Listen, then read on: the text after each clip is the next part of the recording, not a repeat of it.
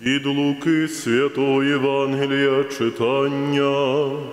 Слава Тобі, Господи, слава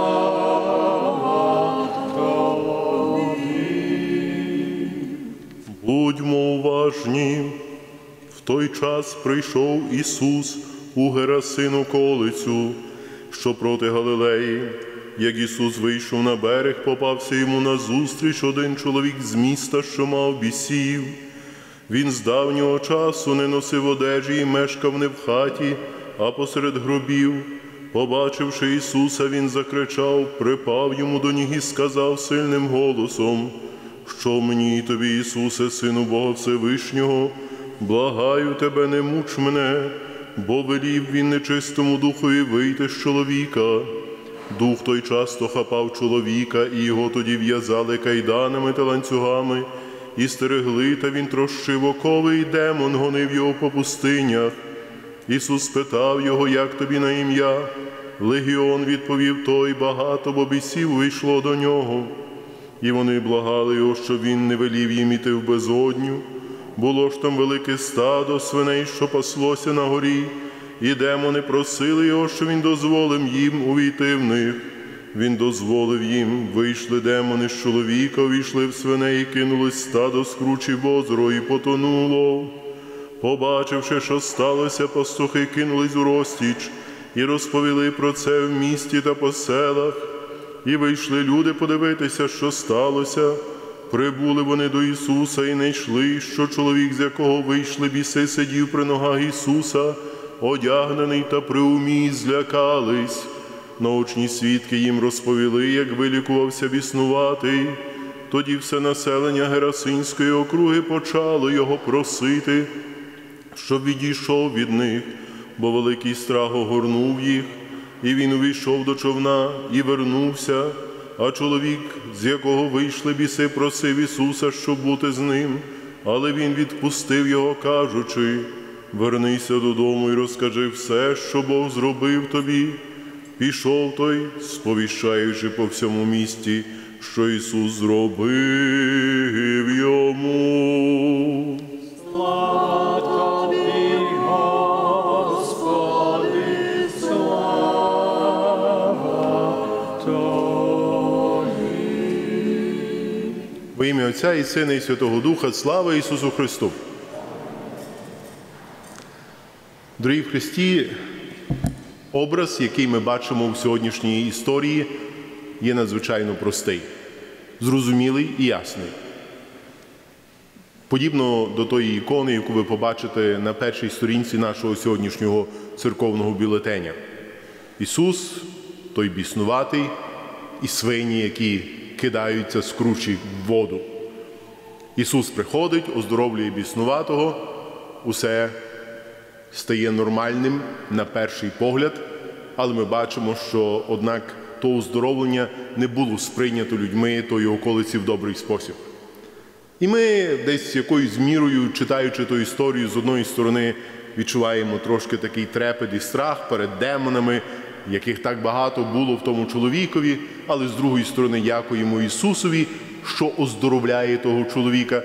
І, можливо, не розуміємо трошки, чому люди, які бачили оздоровленого біснуватого, хочуть позбутися Ісуса. Можливо, навіть якоюсь мірою нам трошки шкода тих свиней, бо було їх багато, тепер нема ні одного. Ним словом, історія, яку ми чуємо, на перший погляд є звичайна і розуміла історія, яку дуже часто бачимо на сторінках Євангелії. Є проблема, Ісус приходить, вирішує проблему. Однак проблема, про яку ми чуємо сьогодні, є складна. Це не є так просто те, що ми сьогодні чуємо. Найперше місце, до котрого прийшов Ісус. Я не знаю, чому Він пішов туди, бо Він сам наголошував багато разів про те, що покликаний є голосити Євангеліє, добру новину про зцілення, оздоровлення і визволення, власне, народові юдейському, тим, які були вірні Єрусалимській святині. Ми часто бачимо, що він десь там підходить до самарян, які не дуже любили людей, які були вірні Єрусалимській святині. Та й сама Галилея, хоча і була трохи далі від Єрусалиму, ніж Самарія, її вважали дуже часто поганською, бо звичаї, які там були, не були цілком, як би то вам сказати, побожно православними. Православними не в значенні приналежності до якоїсь адміністративної церкви, в значенні тому, що вони таке чудове слово ортодоксійними не були. І справа полягала в тому, що у всіх тих районах Ісус все ж таки пробував голосити добру новину. Однак ті місця, хоч якоюсь мірою, були пов'язані з культом, з прославою правдивого Бога. Це місце, де сьогодні попадає Ісус, воно вже давно було цілком поганським. Ті околиці десятимістя то були одні з перших околиць, які впали під напливом асирійців з півночі. Вони знаходилися з другої сторони Йордану. Покоління Гада було там одного з синів, е, синів Якова. Це були ті місця, які з одної сторони були доволі плодючими, там були надзвичайно гарні пасовища, але з другої сторони, то були перші місця, які падали під впливом сусідніх сил, імперій, поганських культур. І, властиво, та територія вона впала не тільки політично. Вони вже давно були спочатку під впливом асирійців, які дуже сильно старалися змести всі сліди ізраїльтян. Пам'ятаєте, вони займалися переселенням ізраїльтян на північ у свої краї, використовували їх також якоюсь мірою як рабів, з іншої сторони заселяли поганські народи на ті землі. Та околиця, в яку сьогодні пробуває Ісус, вона вимішана. І там давно вже нема жодного сліду тої давньої слави дітей Всевишнього, яка була колись. І якимось знаком того всього є то стадо свиней. Бо свині, як ви знаєте, юдеї не їли, вважаючи їх некошерними, брудними істотами, то наше відношення до свиней і до свинини є трошки інше, але в юдеїв, ви знаєте, то відношення було кардинально негативне. І тут ми бачимо ціле стадо свиней. І воно є ніби знаком того, що ті народи вже давно стали поганими. Хоча з іншої сторони, ціле стадо свиней для чого їм було потрібне? Вони робили бізнес, гешефт. З ким вони робили гешефт? З римлянами. Римська окупаційна влада стала вже наступною якоюсь черги. Понад 700 років всі вони жили під різними окупаціями і, властиво, вже звиклися з тими окупаційними владами. А тут прийшли подібні до них, з якими можна було робити добрий бізнес, продавати їм свинину і жити якось спокійно з тим всім. Справа полягає також ще й в тому, і то є дуже цікавий момент, коли Ісус питається того демона, як йому на ім'я. Ми чуємо відповідь, яка для юдейського вуха, можливо, мала би бути дивна. Принаймні, Лука записує її в такий дивний спосіб. Демон вживає римське означення легіон. Легіони це були одиниці римської армії, що не помиляюся, десь коло 10 тисяч, можливо, навіть людей. Але справа полягає в тому, що ну, ми би очікували, що той демон буде мати якесь таке ім'я, знаєте, юдейське. А він має римське ім'я. І з демонами взагалі то є дуже складна справа, особливо в Старому Завіті. Про демонів ми чуємо тільки два рази. І то, властиво, кожен раз, коли говориться про демонів, то говориться про те, що вони є подібні до поганських богів, яких нема. Через те багато юдейських, навіть пізніше вчених, казали, що віра в демонів для юдеїв ну, не те, що не є необхідна, вона взагалі не є конечна, бо якщо Господь сам окреслює демонів як поганських божків, а поганських божків нема, бо якби вони були, то би в тому світі було багато Божжя, а Бог є один. То властиво з тими демонами юдеї би не мали мати нічого спільного. Через те вони і не відіграють в Старому Завіті важливої ролі. Хоча ми знаємо, що Ісус вже живе трохи в іншому світі. В світі, в котрому живе Ісус, та юдейська культура була напхана в різний спосіб культурою греків і від певного часу, вже більше ста років, в тому моменті культурою римлян. І для римлян, і для греків демони мали важливе значення, але вони не були злими духами. Властиво, наше християнське окреслення демонів як злих духів виключно з'явилося допіру пізніше, десь аж в IV столітті. До того часу також християни НАТО переймалися демонами, бо якщо вони є окресленням тих поганських божків, а поганських божків нема, ну то чому маємо ними перейматися? Ну, але то вже інша справа, колись, можливо, при нагоді ми також ще на катехизації поговоримо про ту справу. А сьогодні справа в тому, що саме ім'я отих демонів, про які ми чуємо, вказує на те, що тут йдеться не стільки про якесь надзвичайне і надприроднє, скільки йдеться про окреслення стану тої околиці. І в тій околиці люди були бідні, не в значенні, очевидно, матеріальному. Вони були бідні, тому що там була окупаційна римська адміністрація, і то вже був демон сам по собі, злий дух, який над тим всім панував. Вони були бідні, бо давно відреклися від Бога. І ознакою того були ті бідні свині.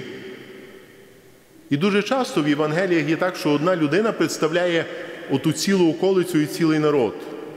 Одна людина служить образом того, що діється у тій околиці. І той біснуватий, який жив поміж гробів, який забув своє минуле, який забув свою родину, який не був більше навіть людиною, він ніби є означенням всієї тої околиці. До того скотилися ті люди, що виглядали як біснуваті. І приходить Ісус і виганяє все те. То було очікувано, бо Ісус, як Месія, Він мав, і ізраїльтяни були в тому переконані, Він мав позбутися тої влади злого. Очевидно, що Ісус дуже часто наголошував, що влада злого, яка панує над тими людьми, то їхній гріх. Як каже чудово Павло, жалом гріха є смерть. І тут Ісус приходить, щоб перемогти смерть і дати свободу. Найтрагічніший момент того всього, що Ісус, який приходить дати людині свободу від гріху, не сприймається тими людьми. На перший погляд виглядає дуже дивним, що вони його виганяють. Та ж такого пророка треба було тримати коло себе, пророка, який дозволяє позбутися всього поневолення і політичного, і гріховного, і фізичного, і душевного, усього того, що було зле. Здається, що вони мали би сказати, Ісусе, лишайся з нами на силу Його тримати. Але вони на силу Його виганяють. Тому що вони звикли. Вони звикли до римської окупаційної влади. Вони звикли робити з нею бізнеси і тримати тих свиней для себе, для них. Вони звикли до свого поганського життя, і вони навіть звикли до того біснуватого, який робив їм купу прикростей. Вони звикли. І в тому звичаї, в тому призвичаєнні до свого тяжкого, прикрого життя місця для Ісуса вже не було. І тут, дорогі мої, як і в кожній проповіді, маленьке, але важливе запитання, а що з нами? Ми живемо в Нью-Арку, я не знаю, хто з вас має свині коло хати. Ви, напевно, не живете під окупаційною римською владою. Ви є вільні люди, ви стараєтеся жити чесно. І це є дуже добре. Але, можливо, в нашому житті в кожного з нас є якісь такі моменти, в яких ми є більше прив'язані до чогось злого, чи часом до браку добра, стараючись не зауважувати ті моменти в нашому житті, де ми можемо створити добро. Просто нам звичніше жити в спокої, хоча той спокій є неправдивий. Бо нема спокою там, де нема добра, нема спокою там, де нема милосердя. І сьогодні Ісус приходить до нас з вами і хоче нам дати волю і свободу від гріху, від смерті, кличучи нас до життя вічного. Напевно, щоб цілком природньо і зрозуміло, по-людськи мало б бути те, що ми скажемо, Ісусе, хочу. Хочу прийняти Твою благодать, хочу жити з тобою, хочу бути тою людиною, яка йде кожного дня кроком до Царства Небесного, приносячи радість собі і ближнім. Але то є слово, яке ми дуже часто навіть не маємо сили висловити, бо ми боїмося, як ті люди, які побачили Ісуса і оздоровленого ним біснуватого, що а може то буде занадто тяжко, а може то буде занадто дорого. Може, якихось свиней Христос скаже мені позбутися чогось в моєму житті, до чого я вже прив'язався, хоч воно і клопітливе, але з іншої сторони не хочу міняти нічого, бо зміни вони є тяжкі і прикрі. Є таке чудове слово навернення грецькою метаноя, яке властиво то грецьке слово перекладається як зміна способу мислення. Христос прийшов визволити нас, дати нам новий спосіб мислення, думати як діти Божі. Ми думаємо дуже часто, що думати як діти Божі занадто складно, занадто прикро, і в сучасному світі не дає нам жодної переваги. Треба думати так, як думає весь світ і все суспільство, в котрому ми живемо. Але з точки зору Бога ми тоді виглядаємо трохи як біснуваті. Через те сьогодні віддаємо себе, віддаємо свої думки і свої бажання, віддаємо все в своєму життю в руки всемогутнього Бога. Він є нашим визволителем, Він звільняє нас від наших демонів, Він дає нам Духа Святого, який провадить нас до неба. Амінь.